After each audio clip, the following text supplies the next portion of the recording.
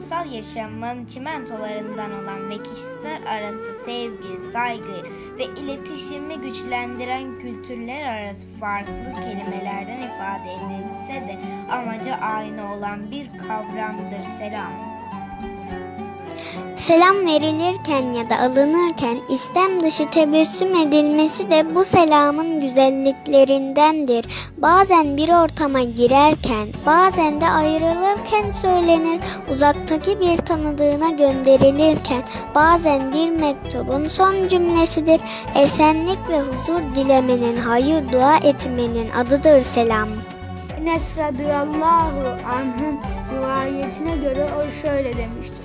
Resulullah bana yavrucuğum ailenin yanına girdiğinde selam ver ki sana ve hane halkına bereket olsun.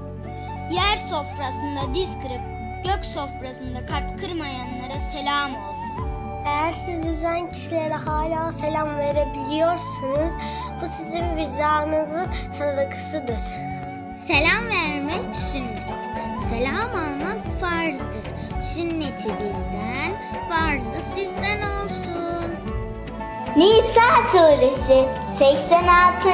ayette Yüce Allah bize size bir selam verildiği zaman ondan daha güzeliyle veya aynı selamla karşılık verin buyurmuştur.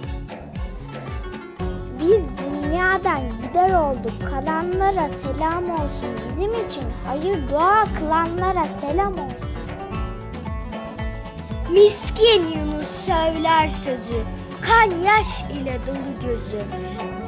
Bilmeyenler ne bilsin bizi, bilenlere selam olsun.